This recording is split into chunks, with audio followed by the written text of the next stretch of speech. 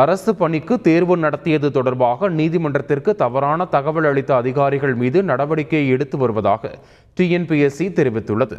TNPSC நடத்திய தேர்வில் உரிய மதிப்பெண் பெற்றும் தேர்வு செய்யப்படாததை எதிர்த்து சாய்புல்லா என்பவர் தொடர்ந்த வழக்கில் தவறான தகவல்களை வழங்கிய அதிகாரிகள் மீது நடவடிக்கை எடுக்குமாறு உயர்நீதிமன்றம் உத்தரவிட்டிருந்தது. இந்த வழக்கு விசாரணைக்கு வந்தபோது தவறான தகவல்களை அளித்ததாக அரசு பணியாளர் தேர்வாணைய இணைச் செயலாளர் உட்பட நான்கு அதிகாரிகள் மீது நடவடிக்கையை தொடங்கியுள்ளதாக டிஎன்பிஎஸ்சி தெரிவித்துள்ளது. மனுதாரரை தேர்வு செய்வது தொடர்பாக பரிசீலிக்கப்படும் எனவும் தவறு நடந்தது குறித்து முழு குழு அமைத்து விசாரிக்கப்படும் எனவும் டிஎன்பிஎஸ்சி குறிப்பிட்டது. இதனை பதிவு செய்த நீதிபதிகள் வழக்கின் தீர்ப்பை தேதி குறிப்பிடாமல் தள்ளி வைத்தனர்.